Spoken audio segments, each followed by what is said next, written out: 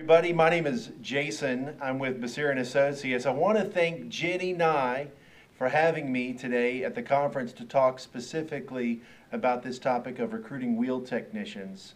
I know how challenging it is to find and source these kind of a talent because we've been working now for about 10 years with the trade, specifically with mechanical, electrical, plumbing, service technicians, welders, fabricators, sheet metal folks, and yes, with many of you franchise owners, we've also talked and worked with you locally in your unique markets. And I wanted to come with some good news, also come to you with a little bit of perspective, and share with you briefly about what I'm going to recommend you think about when it comes to recruiting this very important position. Obviously, the labor pressure is tight. The ability to find candidates who can pass a background check, have a good driving record, who are presentable, professional, can, are good at working with their hands. Maybe they've worked in a collision repair center. Uh, they've got good acumen with talking with people on a professional scale and are hardworking, dependable folks that you need uh, to pull a trailer, uh, to work on rims, and to be that wheel technician that's going to grow your business. Uh, they're not a dime a dozen.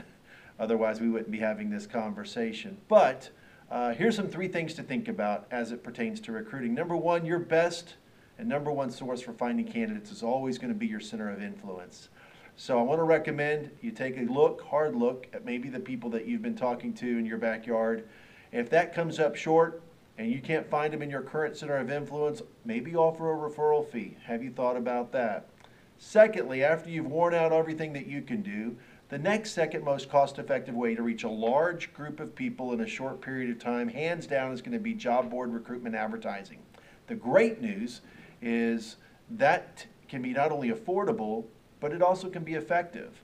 I want to suggest that not all job boards work the same in every market. So, uh, you might want to think when it comes time to run either Craigslist, Indeed, Career Builder, Monster, Ladders, all these different pay-per-click campaigns there is a method to the madness, and what works on the west may not work on the east, and what works in the north may not work down in San Antonio.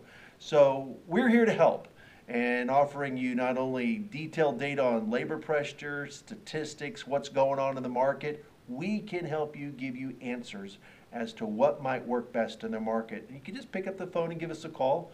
We're happy to talk about that with you.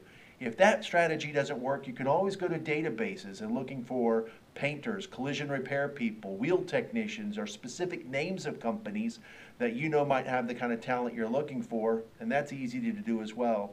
Finally, our services are not only built around recruitment advertising, but also other other types of positions that you may be looking for. We also help and facilitate background checks, motor vehicle driving record background checks.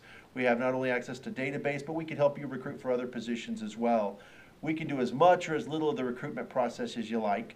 So with that said, um, I just want to say thank you for the privilege to speak into this topic. We're passionate about recruiting, and I know how important it is to you in your market, and we would welcome a chance to listen and learn more about your unique business in your marketplace and see if we can give you two or three fresh ideas around this topic that's so important with recruiting. So feel free to give us a call. Our phone number is 1 800 797 7355 extension 4101.